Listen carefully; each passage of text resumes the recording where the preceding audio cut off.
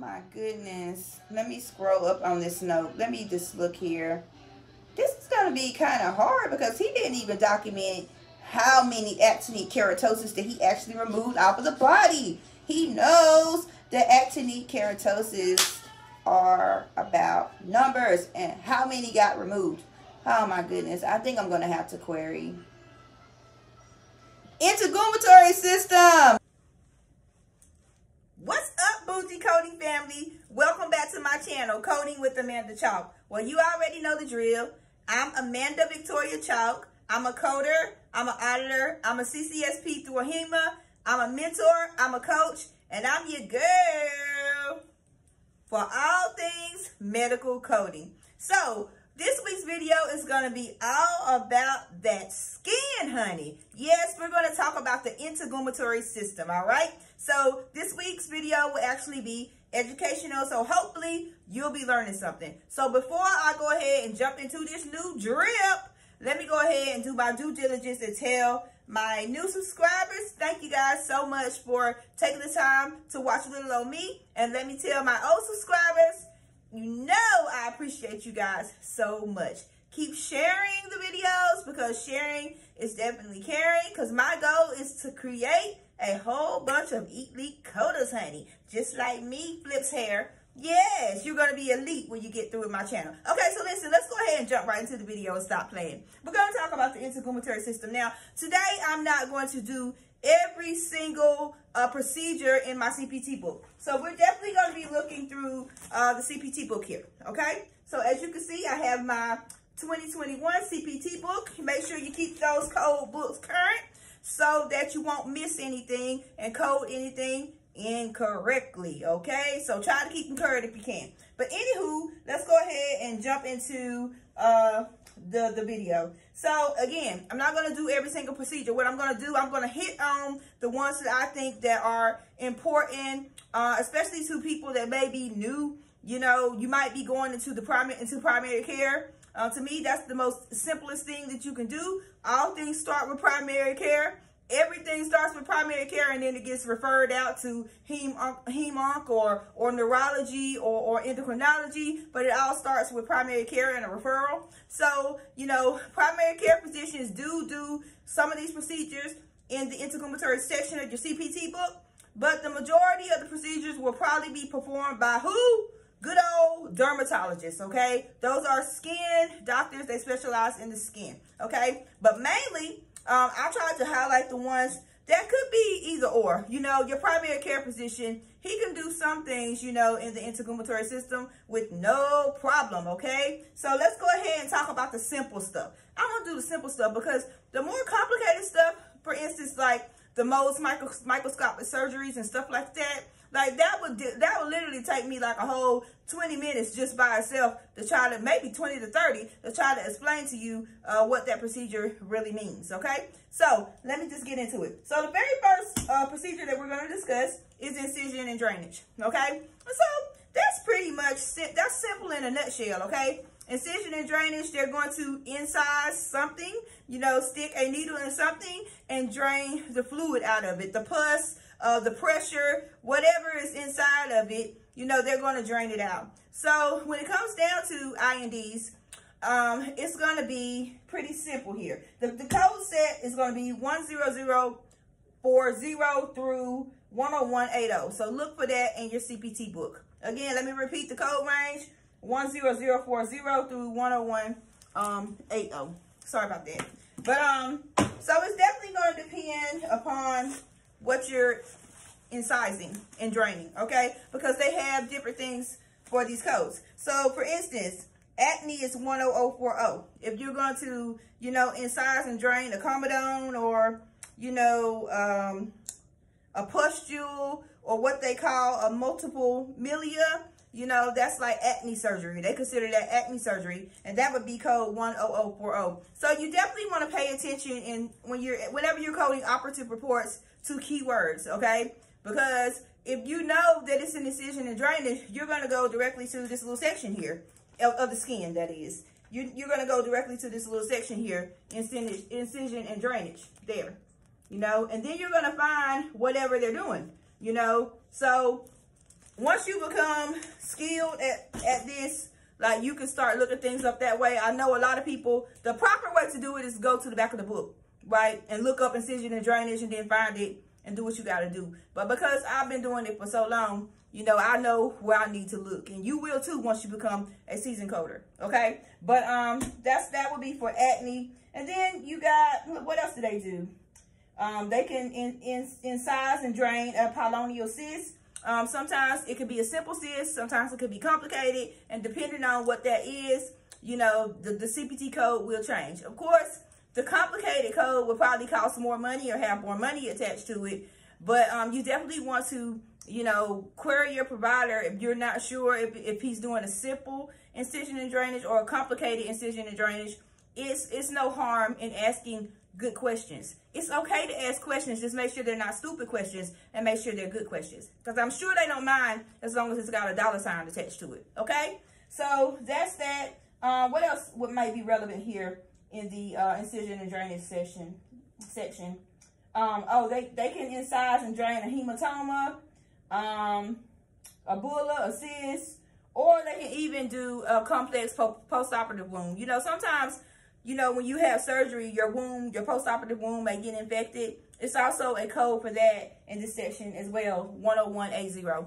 So again, I'm hitting the procedures that could be, you know, pretty relevant for like primary care and dermatology. Okay, like a primary care could doctor could do any of the ones I just mentioned. Okay, so I call it a simple procedure. So that's all I'm hitting on today. What I see every day, every day, every day, and it's simple. Okay, let's go to the next one because I don't want to make this video too long. We're going to talk about uh, the paring and the cutting of corns and calluses. Okay, so again, whenever you pick up these operative reports, that's a key word. When you when you see that the provider has documented a corn or a callus and you see that he has to get it off, then you want to just flip to uh, the paring or the cutting section here in the integumentary section of your CPT book. Again, let's see. Where's it at? Right here. I think it's that, yeah, right there. That says paring or cutting. Paring or cutting, and that's uh, a corn or a callus. So, you know, that's pretty simple, pretty pretty cut and dry. You can't really screw up a freaking uh, uh, uh, procedure that's about a corn or a callus because it's only two codes, no, three codes that you could use. Uh, 11055 is for one. Uh, 11056 is for two to four. And 11057 is for more than four lesions, okay? So you can't really screw that up. That's pretty simple stuff. And again, you know, a, a PCP could do that. A dermatologist could do that. Also, a podiatrist will, will do this commonly, uh, commonly all the time, okay? So believe that. So if you're coding any podiatry encounters, you're definitely going to see that. All right. And the third thing I'm going to talk about that's really common is um, biopsy. Okay. So anybody can cut something off and then send it off to surgical pathology uh, for a biopsy. Okay. So here's the thing that I want to explain to you guys about um, biopsy because I used to get really confused about this, like really, really confused. When a, when a physician is, you know, performing a biopsy, they're not taking off the whole thing. So that's one thing that you need to understand. Because a lot of people are like, well, should, when they read op reports, they're like, well, should I code the excision code or should I code the biopsy code? Okay. And so it can get confusing, but I want you to just always remember that when a provider is performing a biopsy, they are not removing the whole lesion. They are not. So let me repeat for the people in the back. They are not removing the whole lesion. They are removing a tiny sample of that lesion to see if that is cancerous or, or whatever they think it might be. Okay, so there are different types of biopsies, um, and I'm just going to try to explain them quickly and break them down. Um, you would need to know. Always go into your um, CPT book, you guys, and, and don't ignore don't ignore these words here, okay? Whenever you have these little notes above the section, Make sure that you know these notes very well because they're, they are here for a reason. They're here to tell you important things that you need to know. Like, for instance, this, this biopsy section is telling you some good information and you really need to know that it's three types of biopsies, okay? So it's either a tangent, tangential biopsy, a punch biopsy, or an incisional biopsy, okay? So according to what you read on your operative report, will determine what you're going to code. All right. And it kind of gives you a little brief description of each one. Um, so it's telling you that uh, a tangential biopsy uh, can, can be performed by shave, scoop, they can saucerize it or use a curette. Um, it's performed with a sharp blade, such as a flexible uh, biopsy blade. And it's telling you that um, they remove a sample of the epidermal tissue with or without portions of the underlying dermis. The intention of a tangential biopsy is to obtain a tissue sample from a lesion for the purpose of diagnostic pathologic examination. So um, that's that. But it can get confusing when you look down there at the incisional biopsy because when you read the incisional biopsy, it's also telling you that they can use a scalpel for that too as well. But the difference is that with the incisional biopsy, they're going down to the full thickness of the tissue sample. And if you read this little section carefully, they're not doing that with the tangential biopsy. They're not going down to the full thickness, okay? They're just going um, on the superficial layer, okay? They're just going on the superficial layer. Okay, so it actually tells you that in the book. So that's the reason why it's so important, like, not to skip over these notes because you might read through it and what's going to help you decide is actually the words in, in the documentation. So don't forget to, you know, read your notes, honey, okay? They'll never lead you, they'll never lead you wrong. Like, I don't care, like, who your auditor is. If you have something to back up what you said, then you win, okay? So I always make sure that you are very knowledgeable about what you are doing and read. I read all the time, just, just a side note. You know, I do a lot of things, but reading is one thing that I love doing. Okay, I read uh, Napoleon Hill books, Joel Osteen books, T.D. Jakes books. You know, I read all kinds of books. All right, I'm a book lover, and uh, I think that's why I'm so good at going down into the operative reports and comprehending what it's saying because coding is just a lot of reading and comprehension. So if you can do that well, you can definitely do this, okay? So now let's get back to these biopsies because I don't want to make this video too long. But um, let's talk about the third one, which is the punch biopsy. So we know we have a tangential, biopsy, and I hope that I'm saying that right a punch biopsy and an incisional biopsy. So I just told you the difference between the other two.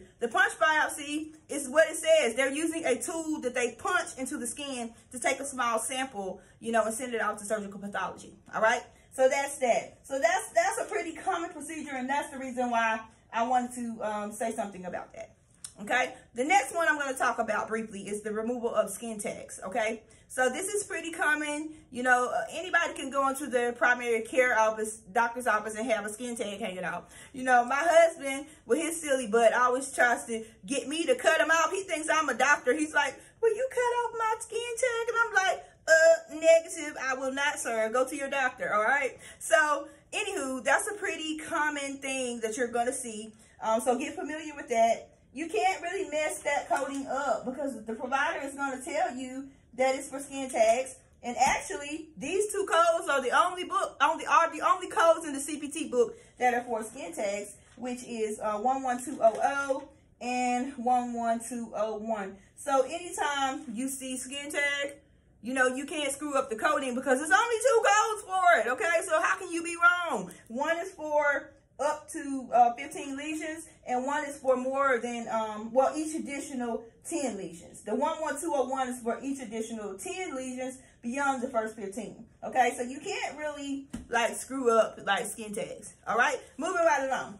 All right, let's talk about um, just excisions of, of lesions in general. So I told you that a biopsy is just basically, you know, the taking of a sample of a lesion. Like, they're just taking a little small portion of it. But in a excision, they're like removing the whole thing. So it's two sets in the CPT CPT book for excisions. So you have the excision of benign lesions, and then you have the excision of malignant lesions. So you definitely want to pay attention to, you know, what it is, all right? You Is it benign or is it malignant? And, and the note should plainly tell you what it is okay? Because that's the only way that you're going to know. So make sure that you pay good attention to the documentation so you can pick the right set, all right? Then once you pick the right set, um, the, the excision codes normally go by body area, like anatomic site, whether it's the face, whether it's the arm, whether it's leg. You like they're separated by anatomic site, and then they go by you know the the width, you know the length, you know all that good stuff, the diameter. So you know according to how big it is or how large it it's is what code you're, what code you're going to choose. All right. So that's not that's not too bad. So the main thing you just want to make sure you're paying attention to number one, is it malignant or benign? And then number two, you want to pay attention to where it is on the body, face, leg, butt, whatever. And then you want to pay attention to the size. Okay? Okay. So that's how you figure out the incision of the, the lesions. Also, you know, again, do not neglect to look at your notes. The notes in your book have very important things on them, okay? Please don't don't neglect to look at them, okay? I've read them over and over and over and over and over and over. And whenever I'm coding something and I'm just not sure, I'm always going to reflect back. I never guess. Good coders, we don't guess. If you don't know, you don't know, then you go to your book. But you definitely do not guess. All right? I don't play a guessing game when it comes to coding. All right? So that is that. And let's see, did I put one more in here. Yeah, I'm going to tell you about one more and I'm going to wrap this video up because I don't want to go over 20 minutes tonight. Um, and that is like repair. You will see that a lot in uh, primary care, um, dermatology. You're going to see repair. And what I mean by repair is after you get your lesion excised and they remove whatever is on you, then they have to close it up. Okay? They have to close it up. And that is called a repair. All right. So the repair codes uh, start at CPT code 12001 and they end at 13160. Okay. So the repair codes are grouped into three categories. Either it's going to be a simple repair or it's going to be a intermediate repair or it's going to be a complex repair. Okay. And so you will have to read the notes in the book again to know which one is which. Okay, and so these repair go repair codes go by the anatomic site as well and the length, you know, of what they're closing up. So you want to make sure that you are looking at the right thing because you don't want to be off. Okay, you definitely don't want to be off because you'll get ding, ding, ding. Okay, so these are very uh, common procedures, and that's the reason why I chose to pick out the ones that I did. Now, it's other procedures in the book, again, like um, Mohs microscopic surgeries, things like that, that are pretty complicated, but um, flaps and stuff like that. But those will take me a longer time to try to explain to you. So, you know, always make sure the most important thing when you're doing operative reports is to look for zoom in for keywords. I'm a keyword person, so I'm going to always see, well, what is he doing? You know, what procedure is he really doing? Is he really, you know, draining something or is he taking it off or or is he uh is it a callus or you need to look for keywords. That is how you will pick out the right procedure. Um, number two, like please don't ever, you know, be afraid to query your physician if you have to. But just my only thing is don't query for something that's not that's that's dumb. Okay, I'll just say it like that. Maybe that's not the proper way to say it, but it's, it's what I mean. Like, do your research. I just made another video. Like, don't ever take anything crazy to a physician. Do your research. Don't even take it to your supervisor until you do your research, matter of fact. Okay? Because good coders, we always research everything. That is the quality and the trait of a great, fabulous, elite, beautiful coder. Flips hair. Okay. Anyway, you guys, I'm going to go ahead and hop on out of this video for tonight. Um, I hope you guys learned something about the integumentary system. It's not as hard as everybody might think. You know what I mean? It, it's really not. Um, I actually enjoy this section. Now, all sections of my CPT book, I do not enjoy. I am definitely not a person who likes anything in the cardiovascular section. Although I can do it, I really don't enjoy it, okay? But it's all about accuracy. It's all about finding keywords and, and, and picking out the right procedure, okay? So anyhow, you guys, I made sure I made my video under 20 minutes. Yay! So I'm so super excited about that. I'm going to go ahead and hop on out of here. I'll probably be back later on in the week. Maybe I'll do another screen share as far as E&M is concerned and maybe another blog video or something. But if you guys have any ideas or things that you want me to talk about, uh, please go ahead and, and drop me a comment down below and let me know, hey, you know, I would like to know about this subject or that subject, and I'll be glad to come on here and definitely give you guys the drip. Okay? So I hope you guys have a very blessed and amazing day. And until we meet again, my friends, bye, Bougie Coding family. I wish you all 95% scores.